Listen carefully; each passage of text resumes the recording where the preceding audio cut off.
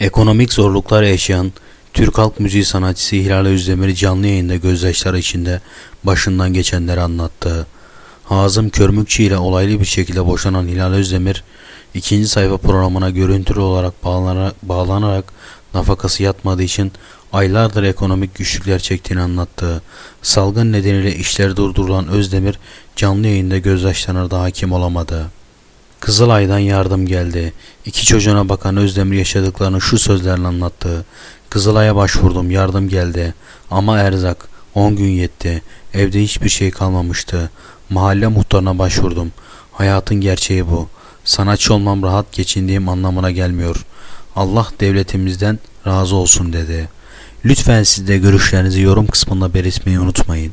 Kanala abone olursanız şimdiden teşekkürler.